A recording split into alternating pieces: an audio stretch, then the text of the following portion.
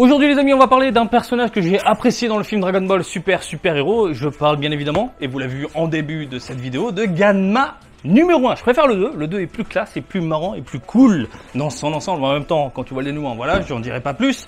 Bref, vous l'avez vu aussi au début de cette vidéo, c'est une vidéo sponsorisée. Japan Viewer dans les parages qui vend la figurine à 4 millions de yens. Ça fait combien cherche la conversion? Non? Tu sais pas? Bon. Sinon, plus sérieusement. Une figurine vendue à 59,90. Voilà, une figurine qui a l'air intéressante, sympathique, J'en sais rien. Hein. On a vu quelques images promotionnelles tourner un peu sur la toile. On a vu quelques photos partagées par les collectionneurs. Eh bien, je vais arrêter de parler. On va passer la seconde. On va découvrir la bête ensemble. Mais avant ça, sachez-le, c'est sorti le 2 juillet 2022 dans tout l'archipel. Pardon. C'est une Ichiban Kodi, ce qui veut dire loterie. Prix du ticket 730 yens. Bref, gros plan ma gueule. Vous avez donc la Ganma 1 sous les yeux, une boîte classique hein, dans l'esprit des Master Lies, avec du gamin exhibé comme ça, photoshopé. J'aime beaucoup la petite lumière sur lui, la petite lumière rouge. L'OE, donc ça veut dire que si vous tirez votre petit ticket, vous ouvrez l'OE, et eh bien vous tombez sur Ganma 1. Ichiban Koji dans les parages, vous avez du Dragon Ball Super à la licence et Bandai qui distribue la bête pour ne pas changer. Hein. Euh, concernant eh bien la tranche, c'est ultra photoshopé. Ganma 1 en mode beau gosse. À l'arrière, les quelques informations au cas où si vous avez des problèmes, là, ça se règle avec euh, Bandai Spirit directement, des problèmes avec la figurine. Là, de ce côté-là, de la tête aux pieds, et on termine avec la tranche. Hop là, voilà, également de la tête aux pieds. Bref, j'arrête de parler, je prends mon petit cutter et on découvre ce nouveau joujou du jour ensemble. À l'intérieur de la boîte, nous avons un carton de protection, le tout est très bien emballé.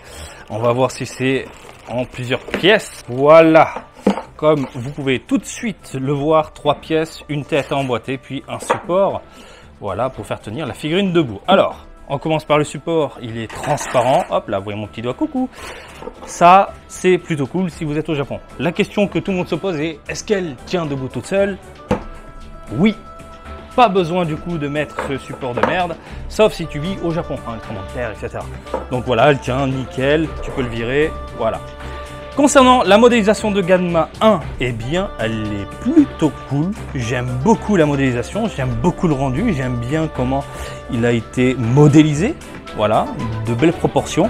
Alors là, on a quoi Des petits problèmes d'usine? Ah non, non, c'est juste un peu de poussière. Il y a des, de la poussière dans les usines? Bah oui, oui. Donc là, le Gamma 1, plutôt classe. Alors, des petites pliures à droite à gauche, un rendu super propre. Alors on a un aspect légèrement chromé sur les boutons, donnant cet aspect un peu métallique. Même chose ici au niveau de la boucle de sa ceinture. Un aspect ultra brillant au niveau des bottes. On a l'impression qu'il porte des bottes en cuir. Hein. Euh, sur les vêtements, alors contrairement à ce que je pensais, j'en avais parlé euh, durant euh, bah, dans quelques vidéos, certaines vidéos, eh bien je pensais qu'on avait un aspect légèrement laqué sur les vêtements, mais non, on est sur du mat. Là c'est légèrement brillant, plutôt joli. Voilà, j'aime bien le rendu. J'aime bien comment c'est foutu. Ensuite, concernant le visage, eh bien, il est clean. Hein. il est super clean. Je m'attendais à avoir un peu plus de paillettes, je sais pas, quelque chose, de clinquant au niveau de la peau pour donner justement cet aspect un peu métallique. Hein, c'est un Android, mais euh, ils sont partis sur du simple. Voilà, un gris euh, légèrement brillant. Pourquoi pas? J'aurais voulu voir un peu plus de chromé. Et puis euh, c'est pas mal globalement. Au niveau des couleurs, on a du neutre. C'est vraiment le petit défaut de cette figurine là.